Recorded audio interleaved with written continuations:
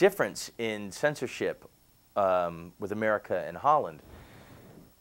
You know, like Steve-O stapled his balls to his leg. There were close up, camera close ups of this guy spreading his sack on his thigh.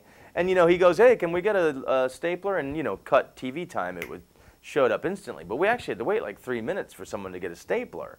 And this guy stapled it, and they showed the entire thing on television. And you know, you can talk about whatever you want. You can um, show graphic things like that on television in Holland, but you cannot endorse products. Like, I can say I like beer, but I cannot say I like Heineken. Where in America, you can't use bad language. You can't show graphic things, and it's all about I like Heineken.